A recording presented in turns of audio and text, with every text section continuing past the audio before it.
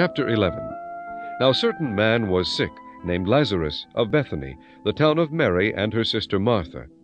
It was that Mary which anointed the Lord with ointment, and wiped his feet with her hair, whose brother Lazarus was sick. Therefore his sisters sent unto him, saying, Lord, behold, he whom thou lovest is sick. When Jesus heard that, he said, This sickness is not unto death, but for the glory of God, that the Son of God might be glorified thereby. Now Jesus loved Martha, and her sister, and Lazarus. When he had heard therefore that he was sick, he abode two days still in the same place where he was. Then after that saith he to his disciples, Let us go into Judea again. His disciples say unto him, Master, the Jews of late sought to stone thee, and goest thou thither again? Jesus answered, Are there not twelve hours in the day? If any man walk in the day, he stumbleth not, because he seeth the light of this world. But if a man walk in the night, he stumbleth, because there is no light in him. These things said he, and after that he saith unto them, Our friend Lazarus sleepeth, but I go that I may awake him out of sleep. Then said his disciples, Lord, if he sleep, he shall do well. Howbeit Jesus spake of his death, but they thought that he had spoken of taking of rest in sleep. Then said Jesus unto them plainly, Lazarus is dead, and I am glad for your sakes that I was not there, to the intent ye may believe. Nevertheless, let us go unto him. Then said Thomas, which is called Didymus, unto his fellow disciples, Let us also go, that we may die with him. Then when Jesus came, he found that he had lain in the grave four days already. Now Bethany was nigh unto Jerusalem, about fifteen furlongs off, and many of the Jews came to Martha and Mary to comfort them concerning their brother. Then Martha, as soon as she heard that Jesus was coming, went and met him, but Mary sat still in the house. Then said Martha unto Jesus, Lord, if thou hadst been here, my brother had not died. But I know that even now, whatsoever thou wilt ask of God, God will give it thee.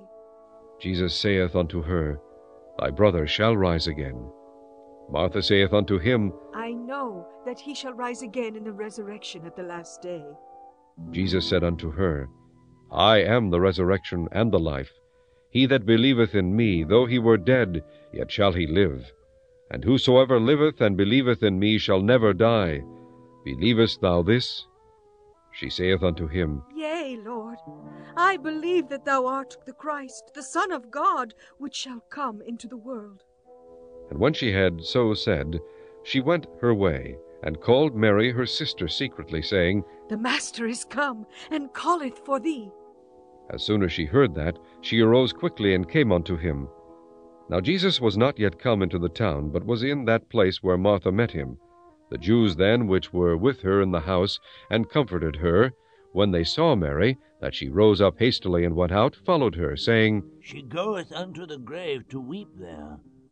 Then when Mary was come where Jesus was, and saw him, she fell down at his feet, saying unto him, Lord, if thou hadst been here, my brother had not died.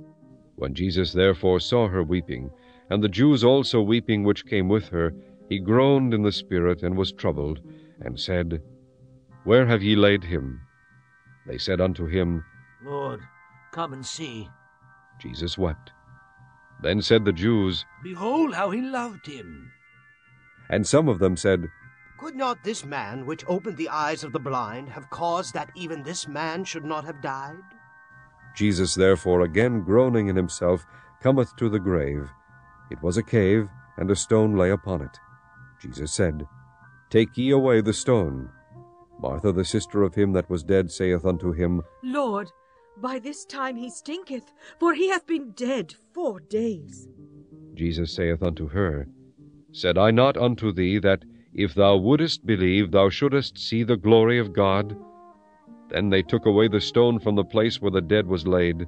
And Jesus lifted up his eyes, and said, Father, I thank thee that thou hast heard me.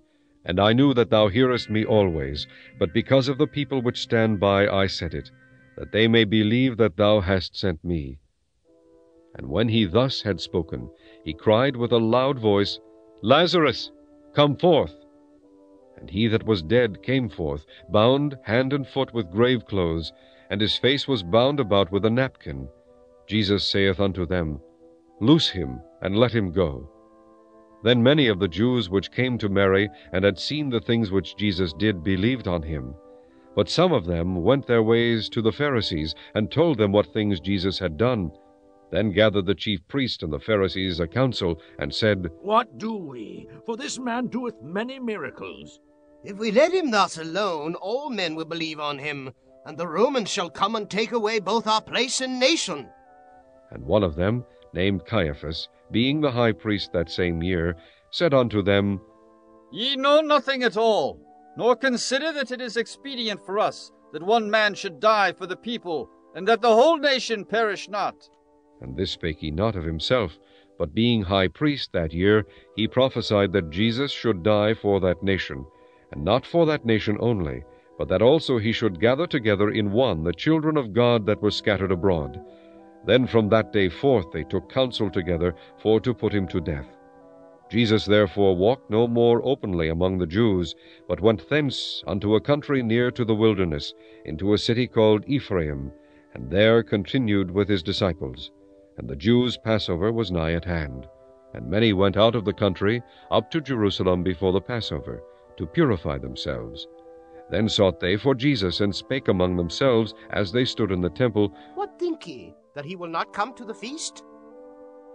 Now both the chief priest and the Pharisees had given a commandment, that if any man knew where he were, he should shew it, that they might take him.